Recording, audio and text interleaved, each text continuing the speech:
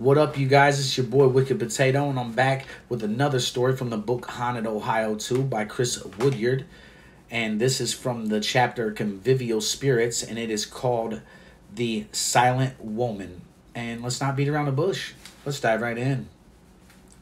Three miles west of Lancaster, Ohio, on the old Cincinnati and Zanesville Pike Road, now US 22, stood an old tavern and a former stagecoach stop. Dra- drovers were a rough lot, and nearly all coaching inns have tales of mayhem told about them. In this case, the tales had a ghost to back them up. The tavern had been converted into a house, and the homeowner found that the doors would simply not stay locked. No matter how carefully she checked the locks in the evening, they would always be open in the morning. The upstairs porch to the uh, of the tavern faced the highway. In the darkest hours of the night, a headless woman with a baby in her arms would be seen pacing slowly across the porch as if filling her way. This went on for many years. As if it weren't bad enough, the family heard chains rattling, and in, in certain upstairs rooms, strange gurgling sounds like someone was being choked.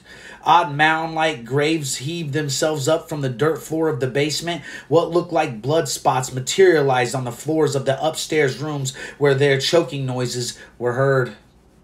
What kind of horrific story could this account for these manifestations? Perhaps the woman was a maid at the tavern. Perhaps when she presented her lover with this child, he refused not to believe it was his, or was so enraged that he beat her until she bled and then choked her and the child to death.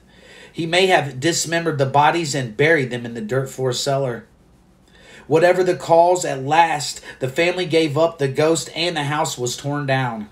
Apparently, the ghost went with it since it has not been seen since. And like I said, I'll have one every day, you guys. Uh, this has been uh, The Silent Woman from the chapter Convivial Spirits, like I said, the first and I'm going to be here every day giving you a story. If you'd like to hear one or you want me to tell a story that you know or anything, uh, just let me know here in the comments. I'm uh, happy to do that. Or you have a book you're like, uh, read a story from that. I'm down to. Uh, next one probably will be a little longer. I'm going to do a part two. You know what I'm saying? One and part two. Uh, I've been picking smaller ones so that I can get them done. But I'm, I'm going to do part one and part two because there's a real good one uh, about the Buxton Inn. So uh, stay tuned. Bye.